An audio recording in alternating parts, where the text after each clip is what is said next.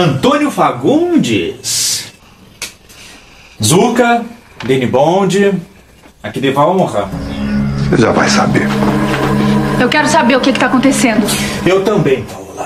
Eu também não estou entendendo por que, que todos vocês vieram à minha casa. Acredito que porque a sua casa tem três andares com uma cobertura, seis cachorros que te amam e por você ser uma diva amada pelo povão.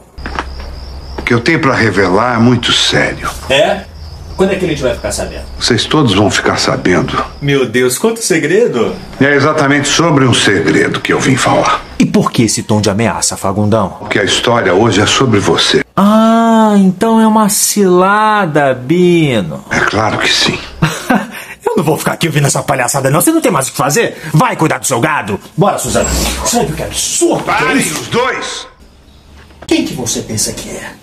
O dono do mundo? Pra sair dando ordem assim dos outros? Não adianta tentar se livrar, não. Você já perdeu. Cabocla enxerida. E eu posso saber finalmente do que que vocês estão me acusando e sem provas? Acontece que eu tenho uma prova. É? Tô esperando. A prova que você espera.